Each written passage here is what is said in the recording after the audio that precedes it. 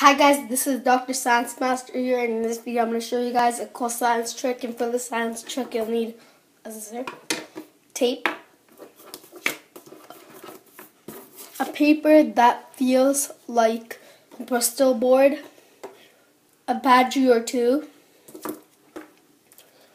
and two wires.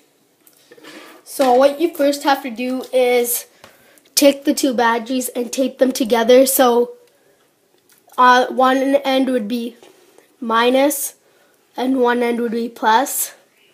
So it would look like this. And I already did that right over here. So you take one of your wires, make sure it's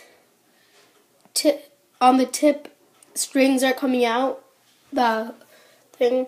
And then after you put one like this right over here, don't tape this one. And then after you take the other wire and you put it like this, but this one make sure you tape it. And then after you're done, you'll have something like this.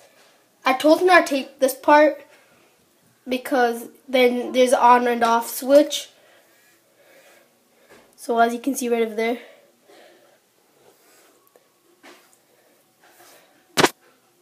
And just focus.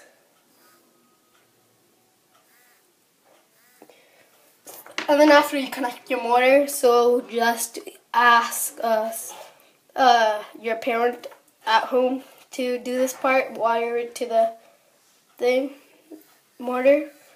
So, and then after you use your paper and cut out um, propellers so it would be like this. Let me just put it on.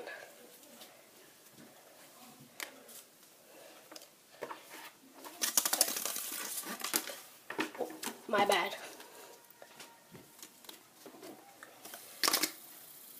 Uh, like that. And make sure you add flaps so the wind comes directly to you.